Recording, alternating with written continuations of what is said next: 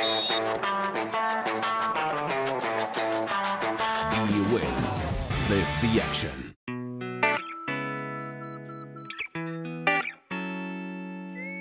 Okay, Uwe, ähm, Glückwunsch zum Sieg bei Eintracht Braunschweig 2 zu 0. Ihr musstet zwei Wochen lang auf die Tabelle gucken und der Blick war nicht wirklich schön aus Fortuna-Sicht. Wie groß fällt dann die Erleichterung aus nach so einem Sieg in Braunschweig? Ja, die ist schon groß, denn ähm, ich habe das ja im Vorfeld gesagt. Ich fand die Situation jetzt noch nicht völlig alarmierend oder beängstigend. Dafür waren die Leistungen eigentlich ähm, soweit ja inhaltlich in Ordnung. Ähm, es haben uns nur ein paar Komponenten gefehlt, die ein Fußballspiel ausmachen und die vor allen Dingen in dieser dritten Liga entscheidend sind. Und an denen konnten wir sehr, sehr konzentriert arbeiten. Und ich glaube, das Resultat haben wir heute hier auf den Platz gebracht. Hast du die Komponenten, in denen man äh, die letzten zwei Wochen gesehen, äh, gearbeitet hat, heute gesehen?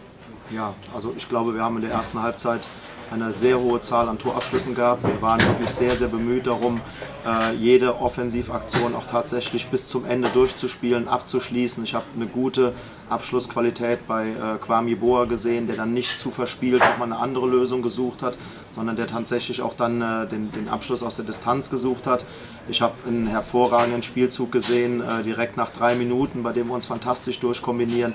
Da war das Thema Tiefgang Besetzung der Box dann ein ganz, ganz wichtiges. Eboa läuft diagonal ein und kommt zu einem 1 gegen 1 gegen den Torwart. Das muss eigentlich schon ein Tor sein.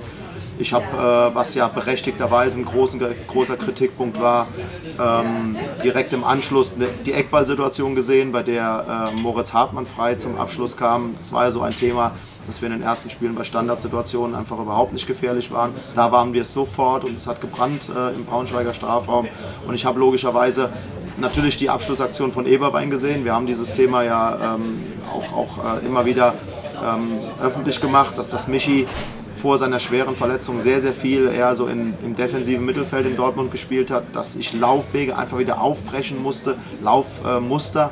Äh, aufbrechen musste. Und ich glaube, das Resultat hat man heute gesehen. Er hat mehrere Abschlüsse gehabt, einen sehr, sehr erfolgreich, sehr, sehr viele Kopfballverlängerungen in vorderster Linie gegen diese Lufttorheit der Braunschweiger.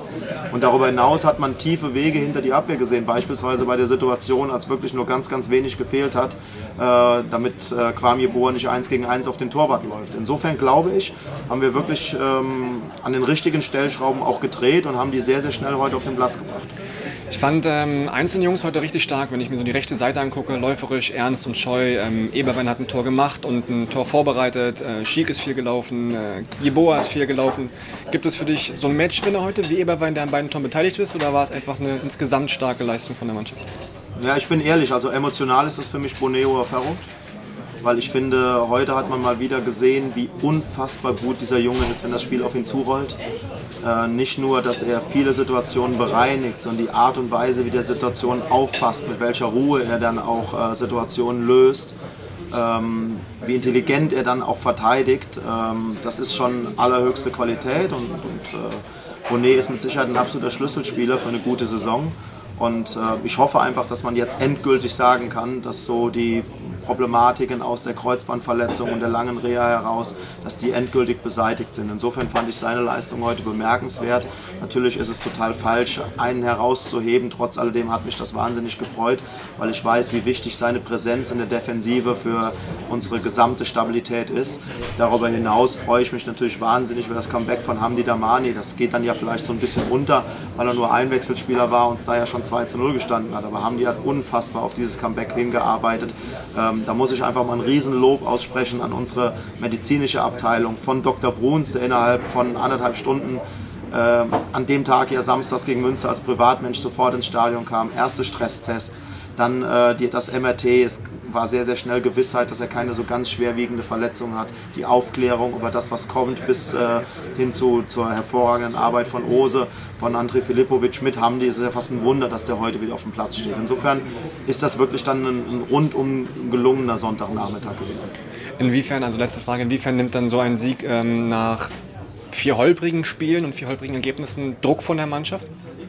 Ja, ich hoffe nicht zu sehr, denn wir sollten diesen Druck schon aufrechterhalten, denn man hat heute gesehen, dass wir mit diesem Druck, ähm, auch mit etwas schärferen Worten, auch mit etwas schärferen Trainingseinheiten, mit einer höheren Klarheit dass wir mit der Konstellation scheinbar gut äh, umgehen können. Denn wir haben heute tatsächlich von der ersten Sekunde an aus meiner Sicht eine unheimliche Präsenz auf dem Platz gehabt.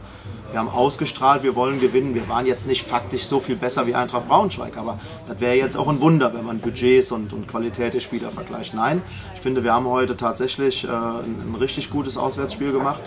Und äh, wenn du so spielst und wenn die Spielanlage so ausgerichtet ist wie heute, wenn du darüber hinaus so solidarisch auf dem Platz agierst, dann ist die Wahrscheinlichkeit, dass Fortuna Köln relativ viele Punkte einfährt, die ist recht hoch. Und deswegen nochmal, ein Druck abfallen ist natürlich schon so, dass ich wahnsinnig erleichtert bin, dass du jetzt nicht so im Tabellenkeller festhältst. Heute die erste Frage von Telekom war, haben Sie Angst, heute mit der roten Laterne nach Hause zu fahren? Ne? Gesetzt in Fall Lotte gewinnt und wir verlieren, dann wäre das so.